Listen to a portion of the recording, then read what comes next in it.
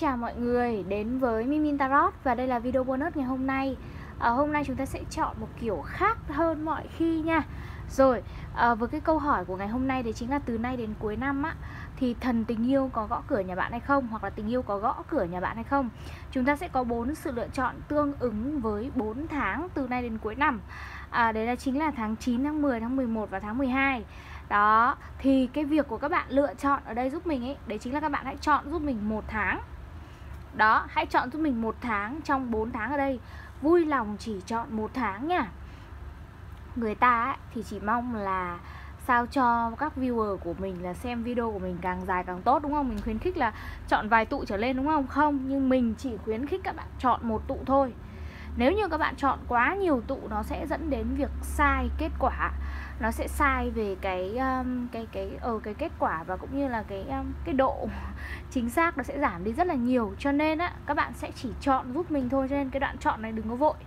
Bình tĩnh đã để phổ biến xong luật đã chọn nha. Thì ở đây á, các bạn chọn cái tháng nào thì cái sự kiện trong tháng đấy nó sẽ diễn ra như vậy. Đó nên là mình sẽ trả lời cho bạn luôn là có tình yêu hay không có tình yêu có cơ hội hay không có cơ hội ở ngay trong cái tháng đấy luôn. Đó nên là các bạn chọn giúp mình một tháng đi 9, 10, 11, 12 rồi Và nếu như đã chọn rồi vui lòng comment xuống phía dưới nha. Thì chúng ta cùng thảo luận cho nó vui vẻ, cho nó sôi nổi nha. Đó Thì bây giờ chọn đi Chọn giúp mình một tụ thôi. 1, 2, 3, 4 ờ, Trong lúc các bạn trong lúc các bạn lựa chọn Thì mình sẽ chụp cái ảnh xíu để mình làm cái thumbnail với mọi người. Rồi, hôm nay rất là nhiều ý tưởng hay ho. Ok. Rồi, ngay bây giờ chúng ta sẽ đến với số 1 nha.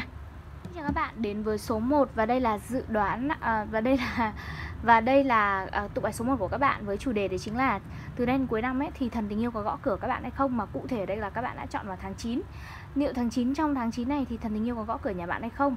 Thì mình thấy được rằng là um, câu trả lời ở đây là chưa.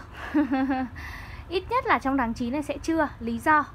Uh, hoặc là từ nay đến cuối năm ấy thì mình thấy được rằng là bởi vì các bạn đã chọn số 9 tháng 9 đây rồi nên khả năng từ nay đến cuối năm cũng cũng sẽ là chưa nhé cái lý do là trong cái khoảng thời gian từ tháng 9 này cho đến giai đoạn cuối năm á à, mình thấy được rằng là nó chưa phải là một thời gian perfect timing tức là nó chưa phải là một cái thời điểm hoàn hảo chưa phải là một thời điểm đúng chưa phải là một cái thời điểm mà thuận lợi cho các bạn. Cho nên là các bạn có thể uh, chờ thêm một chút nữa là cái thứ nhất. Cái thứ hai ở đây á vũ trụ còn nói với bạn rằng là các bạn hãy buông bỏ bớt cái sự kiểm soát của mình đi. Có những bạn là các bạn đang mong chờ hoặc là đang mong cầu hoặc là có một cái sự gì đấy nó hơi khao khát về câu chuyện tình cảm ấy thì các bạn nên bỏ cái sự kiểm soát đó đi. Hãy cứ để cho mọi thứ nó được diễn ra một cách tự nhiên. Tình yêu sẽ đến vào lúc chúng ta không ngờ nhất và đến một cách tự nhiên nhất.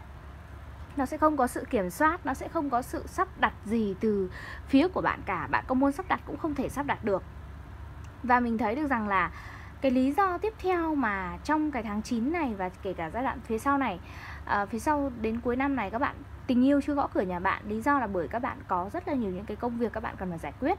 Và hiện tại công việc là cái trọng yếu trọng điểm trong cuộc sống của các bạn các bạn tập trung vào rất là nhiều vào nó. Có thể hiện tại các bạn cũng đang bị stress khá là nhiều trong công việc cho nên có thể đôi lúc ấy các bạn cũng mong muốn là tìm kiếm một cái nhân vật nào đấy mà có thể chia sẻ ngọt bùi với các bạn để bạn có thể tâm sự có thể uh, lắng nghe chia sẻ gì gì đó ở đây. Nó sẽ giúp bạn vơi bớt. Thế nhưng mà mình thấy là cái vấn đề của bạn chỉ có thể bạn giải quyết được mà thôi. Đó cho nên là có thể cuối từ nay đến cuối năm sẽ là một khoảng thời gian tương đối bận rộn với những dự định, với những vấn đề, với những cái thứ mà các bạn sẽ cần phải giải quyết trong công việc của các bạn đấy.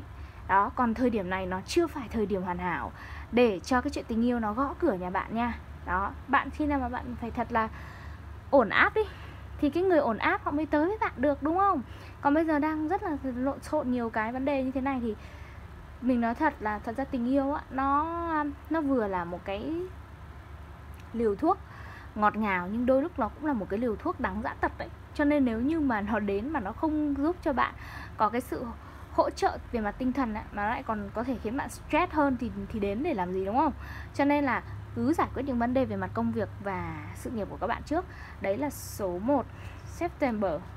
À, các bạn có thể nghe cái bài mà đánh thức tôi khi uh, khi tháng tháng 9 kết thúc nhé đấy là một bài hát về mùa thu rất là hay.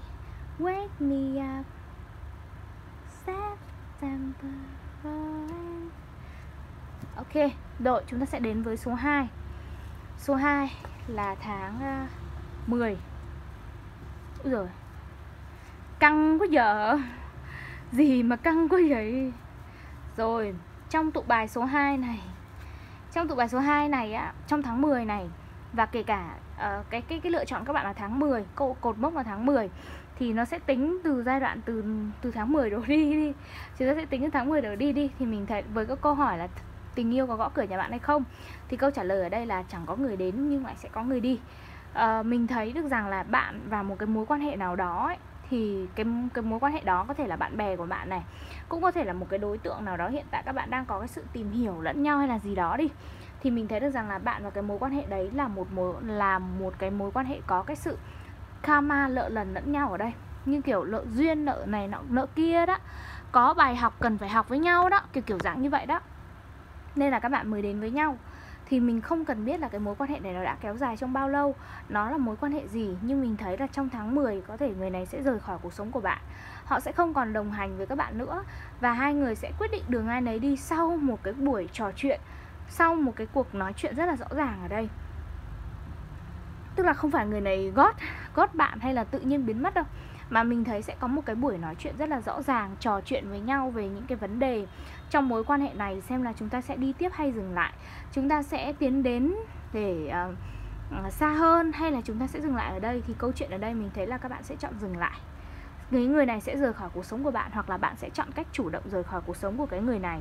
Lý do ở đây mình cảm thấy được rằng là nó sẽ rơi vào hai trường hợp. Lý do lý do đầu tiên có thể là các bạn phát hiện ra là cả hai đã không có cái sự thành thật ở trong uh, mối quan hệ này. Có thể đã nói dối nhau hoặc là gì đó là cái thứ nhất. Cái thứ hai trường hợp thứ hai là có thể là các bạn không có thành thật với cái cảm xúc của chính mình. Tức là có thể là các bạn có tình cảm hoặc là quý mến nhau hoặc là như này kia các thứ với nhau đấy. Nhưng các bạn lại luôn giấu đi lo lắng vì những lỗi lo lắng hoặc là sợ hãi gì đó. Bởi vì rất là nhiều người họ sợ hãi tình yêu nên là họ không dám đến với tình yêu đâu họ thà chọn nỗi sợ hãi và sự từ chối. Còn hơn là tiến đến thì mình không rõ là các bạn sẽ nằm ở trong trường hợp nào. Nhưng mà thật ra là cho dù ở trường hợp nào đi chăng nữa thì đây cũng sẽ là một cái quyết định mình nghĩ là đúng đắn. Vì uh, món nợ này nó đã cần phải đi đến hồi kết khép lại rồi là cái thứ nhất. Cái thứ hai nữa nói về việc là uh, cho dù người này dũng cảm hay không dũng cảm uh, thành thật hay không thành thật thì uh, nếu đã không rồi nếu như nếu như đó, đó là đó đã là chữ không rồi thì cho dù có cố cỡ nào đi chăng nữa thì cũng không cố được đâu. Nha cho nên là với những bạn chọn tháng 10 thì mình thấy là không có cái nhân vật tình yêu nào để đến mà thậm chí sẽ còn có người rời đi. Rồi không sao rời đi thì mới có chỗ cho người mới đến chứ đúng không? Thì đấy là số số mấy ạ? Số 2 đến với số 3 số 3 là tháng 11 ạ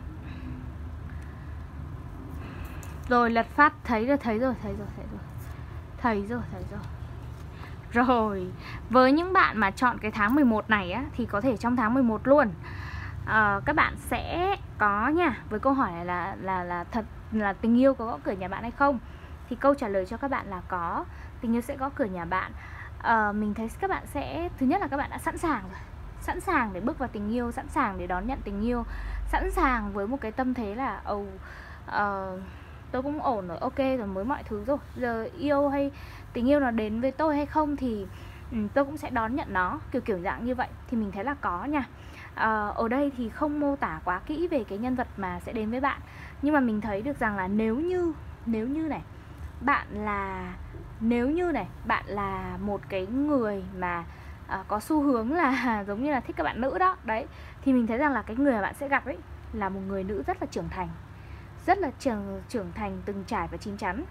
Đó còn cái người còn nếu như ấy các bạn không phải là thích nữ ấy các bạn chính là các bạn nữ luôn ấy thì mình thấy được rằng là bản thân các bạn đã đến cái mức độ trưởng thành rồi. Về cái mặt nhận thức tâm lý cũng như về tất cả mọi thứ rồi. Cho nên là mình thấy được bạn rất sẵn sàng với những cái việc đón nhận uh, những cái tình cảm mới nó đến với cuộc sống của mình thì nó sẽ có nha. Ở đây chúng ta có A of và sẽ có một cái khởi đầu về mặt tình cảm đến với các bạn rồi. Bên cạnh đó, các bạn có lá bài Keep an Open Mind. Lá bài này nó nói về việc là hãy mở rộng tâm trí của bạn, bởi vì cái người soulmate của bạn á, soulmate của bạn ấy, có thể là sẽ rất là khác so với những cái tuyếp người mà các bạn đang định hình ở trong đầu. Đó, hoặc là các bạn đang mặc định ở trong đầu là các bạn phải yêu người này người này người này. Thế nhưng mà người này sẽ rất là khác, người đến với bạn ấy sẽ rất là khác với những cái gì mà bạn suy nghĩ.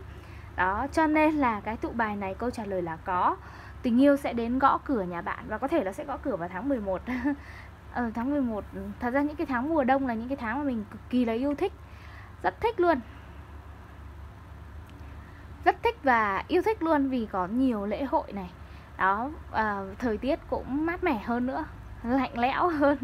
Đó thì mình thấy rằng là có rất là nhiều điều thú vị sẽ đến với các bạn trong cái tháng 11 Nên là hãy cùng chờ đón nó nha. Chúng ta sẽ đến với ờ, tụ bài tiếp theo là số 12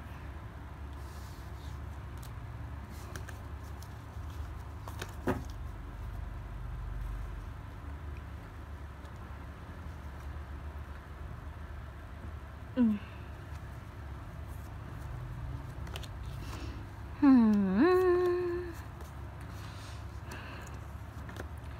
Ôi Ồ Thề luôn Tụ này đúng là kiểu cú tuyết ở ờ, lá bài cuối.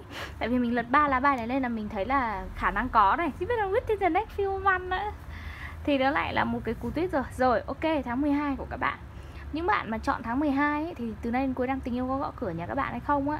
Câu trả lời là không. Chưa.